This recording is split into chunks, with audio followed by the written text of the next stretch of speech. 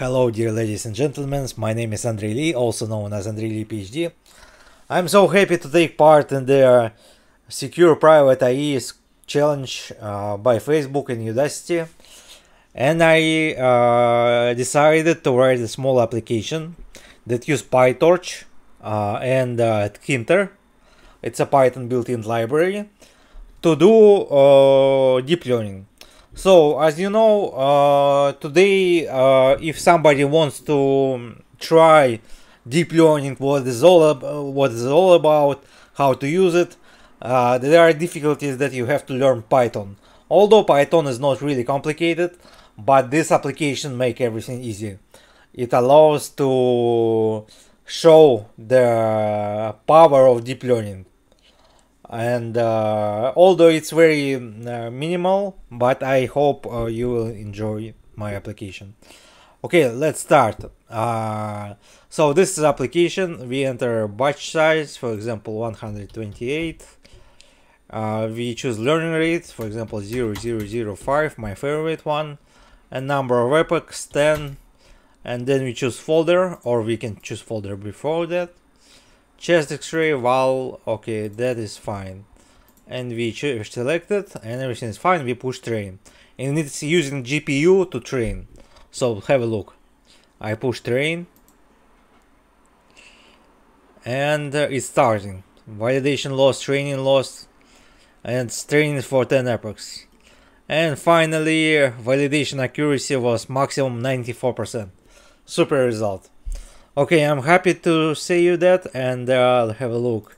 For example, you can click about and this information about me.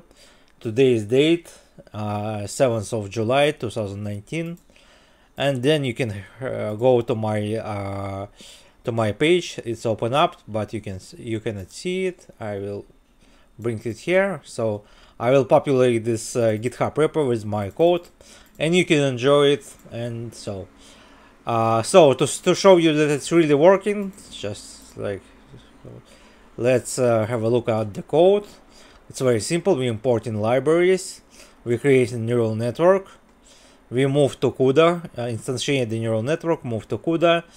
Uh, I made a settings class that manage settings for their uh, for their uh, neural network, and then there is uh, Tkinter things that uh, are very simple. I, I might have organized it into, into the class, but I decided to keep it like this. I think it's simpler and there's uh, nothing worse than overcomplicating the code.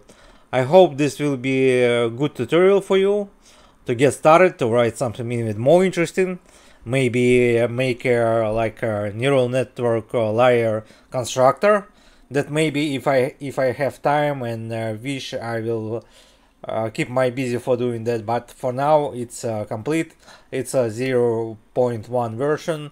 You can try it and please enjoy it. So let me show you that it's really compiled. Uh, run snake.